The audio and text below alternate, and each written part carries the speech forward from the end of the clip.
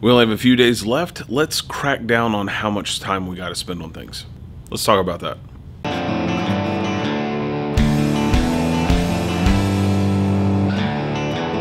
Hey class, welcome back. Mr. G here, your online art professor, giving you guys another classroom management tutorial. This one is really just kind of wrapping up the school year. I came up with three things that really kind of hone in on how do we survive those last couple weeks and make it through. So let's start off with number one. Number one, cover what you want to cover, flat out. And uh, because there was somebody that that posted something this past week, and I saw it, and I was like, I need to make a video just for this reason, which is they this person loves clay. They love teaching clay. They love teaching clay to their class. They are a potter themselves. I myself am a potter. Got my schmuck on. Uh, I just got done making a dozen clay donuts, which is an upcoming video. Another clay donut. I've washed my hands like 17 times in the last 20 minutes, so I just didn't want to do it again. They put they put on there that their students were just acting off the chain this year. That the they hold off on doing a clay project to the end. They wanted to do the clay project, but the kids are just so nuts. They don't know if they should do the clay project. Don't don't. Okay, that's that is your mental health that you are taking into account. If you don't need to do that project, don't do that project. Does it mean that the kids don't get to experience clay? Yes. But is it at the expense of the greater good of you maintaining your sanity, the kids being able to handle the, the materials responsibly? Are they going to get out of the project, the assignment that you want them to get out of? Are they actually going to get out of that? Are they going to get that knowledge out of there?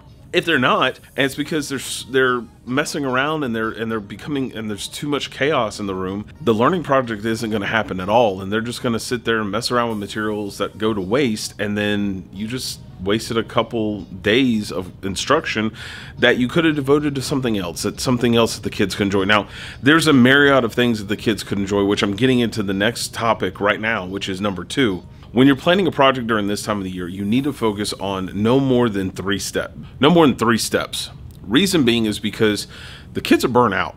Uh, most of us have standardized testing right now, and the kids are doing some sort of a, of a state testing assessment, and that kills most of instructional time. I know that schools that I've been in in the past, the entire school goes in a lockdown mode when it's testing time, and if this entire hall is not finished with testing, the whole school doesn't move. Nobody transitions to another class. That's just how some people do it. And I get it. I understand why they do it. Do I agree with it? No. Do I think that there's a better method? Yes. Do I think that standardized testing is bad? Yes. And I have a whole methodology and reason behind that. I'm just not going into it today. You have all of these things kind of stacked against you. So come up with projects that only require three steps. So the kids can just feel small successes very quickly and a lot of those things, like if you had like a four step refinement where you're going in and making that project a little better, you're really honing in on what you wanted to learn and you're just kind of fine tuning at that point. That's fine. But, but three steps start to finish to making the project is what I really gear towards. What kind of projects do I do during that time? I have I do do clay a lot and I've done fortune cookies during that time frame where we kind of make a, an assembly line and it's like roll out clay, make a circle, fold the pieces, one, two, three steps and then go buy and refine it if you want to add little details to the outside of your fortune cookie or if beforehand you want to mark your message or whatever into the into the disc and then as you're folding it out make sure the lines are still there. That's an idea. Doing doing still life uh, drawings you could do, totally do that. You can take the kids outside do a nature walk and have to draw things out that they see out in nature. Uh, i've done tiki projects which i think is actually quite good. This one you you really need to make sure that you're aware of every student and their allergies. Uh, what, what i did in the past i need to probably make a video on this just because i thought it was a lot of fun.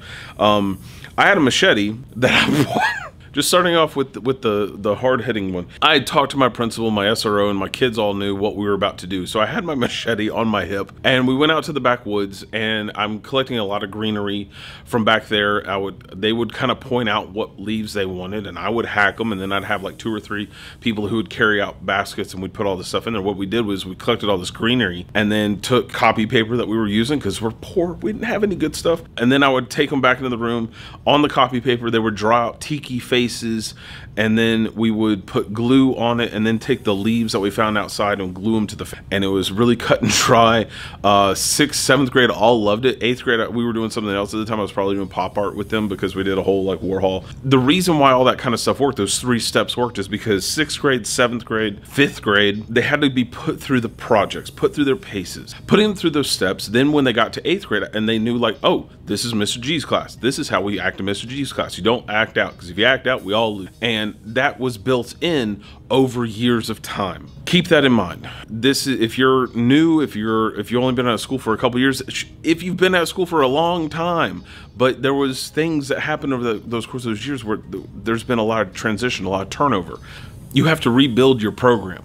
And knowing that that that's one of those things that changes over time, take that into account. Let's go on to number 3. Step number 3 we all have to work with a modified playlist. And by the playlist is the projects that we do. Sometimes we have a project that we, we we've done for years and years and years and it's, it's a gold standard project that's what we want to do but you run out of time. Modify that checklist. Modify those projects that are on that list. If you if you don't have time or things go sideways or there's testing or something happens to the script something goes wrong modify it Okay, don't put yourself up to this pedestal of like, I'm going to achieve X, Y, and Z and it's gonna happen. Because it might not. And know that. Know that that's what you need to need to keep in mind. And you're a lot better off, the kids are a lot better off because then it's not pressure on them. And they understand that they didn't get to do X, Y, and Z, and it's not because of something that they did, that it was outside circumstances. And they process that a lot easier, especially when you're when you're upfront and clear with them like this is what went wrong. And i tell my students I'll, I'll i'll do a project that i came up with in my head and i will design it as i'm teaching it. And even and, and there's been projects that that completely fell apart on step two that the students were like mr g there's something wrong with this project. And i'm like i know. I can't figure out what to do right here and and I and I'm telling them, and I'm clear as day with them. I don't cut any corners. I tell them exactly what I'm thinking, and I tell them why this is not working. And you know what? They got my back. They keep with me. They stay up to date with everything that I want to do. Why? Because I'm authentic and I cut and dry, make everything as simplified as possible. Just the way that I teach, just the way I try and do these things. I want to get you guys as much information as possible again and tell you why I do things makes us all easier together. We all understand what what's on, what's in front of us. Transparency, it's a great thing. So with that, let's go ahead and wrap up for today's class. I, I just before I go on another tangent, mainly that's really it.